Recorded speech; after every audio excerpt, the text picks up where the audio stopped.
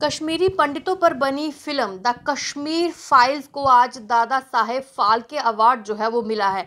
और आपको बता दूँ कि लगातार जब ये मूवी रिलीज़ हुई थी, उसके बाद बहुत सारे कश्मीरी पंडित ने जब ये मूवी देखी थी, थिएटर में ही उनके द्वारा रोया था और कहीं ना कहीं जो है ये दावा किया गया था कि हाँ उनके साथ सब कुछ ऐसा ही हुआ है। लेकिन उसी के अलग अपोजिट बात की जाए तो बहुत सारे लोगों ने ये कहा था कि ये कश्मीरी पंडित लोगों की भावनाओं को महज एक इस फ़िल्म के ज़रिए जो है उनका वोट जो है लिए गए हैं, उनकी भावनाओं के साथ जो है वो खिलवाड़ किया गया है। लेकिन आपको ये बता दें कि आज कश्मीर फाइल्स मूवीज़ को जो है दादा साहेब फॉल्के जो अवार्ड है वो मिला है। और वहीं पर आपको बता दें कि, आपको ये भी बता दें कि किस फ़िल्म को कौन कौन सा अवार्ड जो है मिला है। और एक लिस्ट है जो हमारे पास है, जिसमें हम आपको बताते हैं।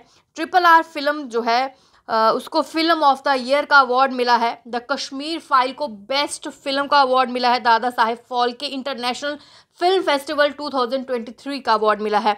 और वहीं पर बेस्ट एक्ट्रेस का अवार्ड आलिया भट्ट गूँगा भाई काठियावाड़ी है फ़िल्म को मिला है। वहीं बेस्ट एक्टर का अवार्ड रणवीर कपूर को मिला है, ब्रह्मास्त्र पार्ट वन का। बेस्ट एक्टर क्रिटिक्स में वरुण धवन भेड़िए को मिला है। Best promising actor Rishab Shetty को मिला है। Best, most best versatile actor का जो अवार्ड है, वो अनुपम खैर को मिला है।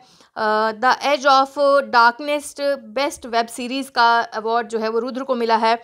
और TV series of the year Anupama को मिला है। Best TV actress Tejasswi Prakash को नागिन सीरियल के लिए मिला है। बेस्ट टीवी एक्टर जैन इमाम को मिला है। और फना इश्क में मरजावा अवार्ड जो हैं, वो आज जिस तरीके से मिले हैं। लेकिन सबसे बड़ी बात यह है कि कश्मीर फाइल्स को, जो कि लगातार कुछ लोग उसकी सपोर्ट में थे और कुछ लोग ये कह रहे थे कि ये मूवी महज वोट बैंक के लिए बनी है। आपकी क्या राय है? कमेंट बॉक्स में ज़रूर बताइएगा।